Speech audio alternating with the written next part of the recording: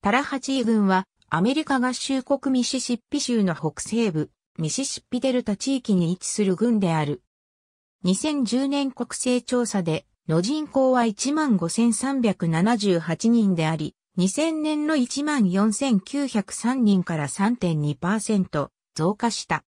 郡庁所在地はチャールストン市及びサムナー町の2つである。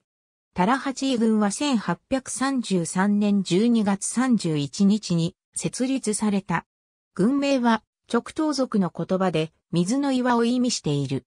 チャールストンとサムナーの二つの郡庁所在地があることでは州内10郡の一つである。チャールストンが最初の郡庁所在地であり、サムナーは遅れて1872年に組織化された。チャールストンは1832年に設立されたが、その歴史はそれ以前からあった。ティラトバクリークの支流沿いに5つの町からなる開拓地が成長していた。1833年、軍領域が開拓者に解放された。当時はインディアン道しかない状況だった。開拓者の大半はミシシッピ川から越えてくるインディアン道であるチャーリーのトレースと呼ばれた道を通ってこの地域に入ってきて、現在レバレットがある場所あたりの丘陵に入植した。そこでは、南からの道と交わり、現在チャールストンがある場所近くに通じていた。ケンタッキー州からトマスベイリー大佐が入ってきて、約5マイル北東にあるクリークの北支流沿いに最初の開拓地を作った。後に、ジェームズ・ベイリー、サミュエル・カルザーズ、ウィリアム・フレミング、エム・ジョンソン、ウィリアム・ケンドリック、ロバート・スラッシャー、エー・パターソン、キンチェン・メイヨが加わり、クリーク沿いにジャンクションの方まで開拓地を広げた。プリディ、ジェイ・ヒューストン、ケイド・アルフォード、カーソンの家族によって別の開拓地が始まり、クリークに沿って3つの支流が集まるところへ開拓地を広げた。このクリークの北支流に沿って現在ある町の西にディカーブとティラドバの町ができた。この二つの町は、タラハチー軍の軍庁所在地になることを望んだが、ティラドバの町が指定された。1837年、警察理事会がティラドバの町を放棄する必要があると判断した。最初の5開拓地の中心に、まだ入植されていない土地があった。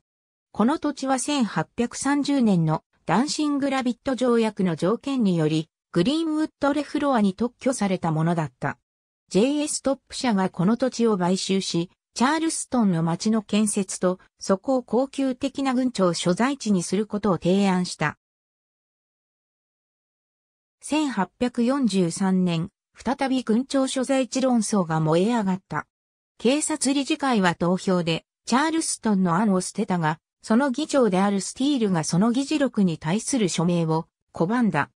1872年、JB サムナーがその場所に移転してきて、現在のサムナーの町を作った。当時その場所は深い森に覆われていた。サムナーは鉄道の通行券、鉄道車庫、軍庁舎広場及び監獄を建てるための土地を寄付した。翌年長老派教会のマリア教会が建設された。1885年に郵便局ができ、1900年には町が法人化された。1882年から1884年に破壊的な洪水や川水の溢れによってサムナー住民は物資補給のために船でウェップの町に行く必要があった。1931年から1933年、数千エーカーの農地を水没させ、多くの火山を破壊した洪水が起きた。初代軍庁舎は1902年に建設されたが、1908年の火事で焼けた。この時は軍の記録が救われたが、1909年に事業地区全体が焼ける火事があり、すべての記録が失われた。アメリカ合衆国国勢調査局によれば、軍域全面積は652.08平方マイルであり、このうち陸地643.92平方マイル、水域は8.16平方マイルで、水域率は1.25%である。以下は2000年の国勢調査による人口統計データである。ミシシッピ州共生省のために民間のコレクションズコーポレーションオブアメリカが運営する刑務所、タラハチー軍強制施設が、軍内、タットーイラーに近い未編入領域にある。